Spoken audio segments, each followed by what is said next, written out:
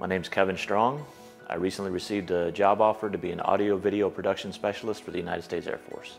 My experience at CSB was amazing. Uh, I actually found CSB on accident. I was looking for something else to do with my GI Bill and came across it. I had a background in broadcasting through the military and I decided I wanted to get back into it. Uh, technology has changed a little bit and CSB had all the updated technology that I needed to learn in order to grow in the career field.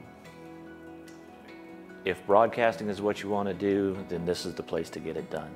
Uh, the, all of the instructors are actually in the industry. They're not just people off the street who have just been teaching for years and years. They're actually hands-on individuals who are teaching from a professional perspective and not just a classroom perspective.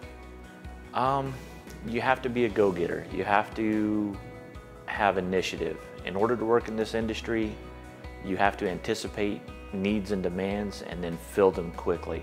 And if you can do that, then you'll be successful. Pretty much you just have to be willing to learn and willing to put yourself out there.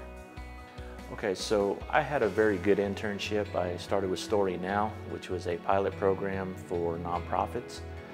I was able to film and edit video for them, which actually led to my getting the job for the Air Force. I was able to create a demo reel, which is one of the most important things you need in this industry.